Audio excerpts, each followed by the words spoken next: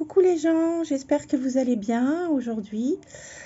Je viens vers vous pour vous parler un petit peu d'une, euh, dans la vidéo, pour euh, vous parler un petit peu de mes astuces euh, anti-stress. Qu'est-ce que je fais quand je me sens un peu stressée par la fibromyalgie, que ça me pèse. Donc je peux avoir des, des crises d'angoisse ou de le stress qui monte.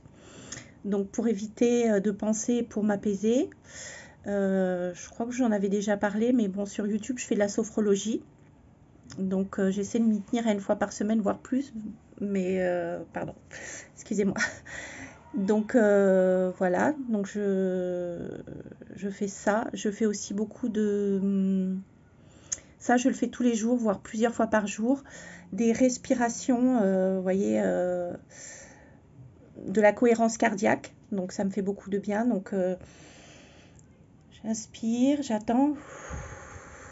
Hop, je, voilà, je fais ça plusieurs fois. Euh. Également, euh, je tiens un journal euh, quand je me sens pas bien. J'ai besoin d'écrire un petit peu ce qui, ce qui me pèse. Et j'évalue un petit peu aussi à travers mon carnet mes douleurs, si elles sont au-dessus de l'échelle de 10 ou en dessous, mon état de fatigue mes, moments de coup de blues, de nostalgie, bah voilà, je les mets sur papier. Euh, qu'est-ce que je fais d'autre aussi euh, je, colorie. Alors, euh, je ne suis pas une grosse, grande colorieuse, mais bon, voilà, j'aime bien.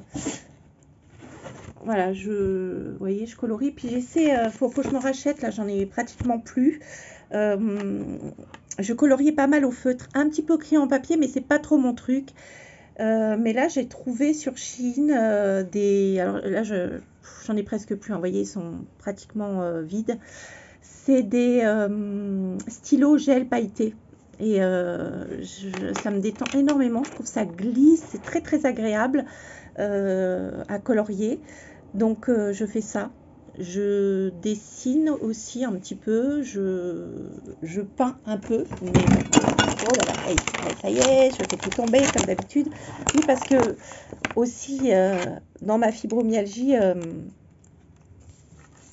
j'ai les mains qui, qui tombent. Voilà. Enfin, oh, qu'est-ce que je raconte, les mains qui tombent? N'importe quoi. Vous voyez, euh, le cerveau il fonctionne plus. En fait, euh, j'ai du mal à tenir les choses dans ma main et souvent, ben, les choses tombent de mes mains. Voilà, c'est pas mes mains qui tombent, Dieu merci, mais c'est plutôt les choses que, je tiens. Donc c'est assez difficile.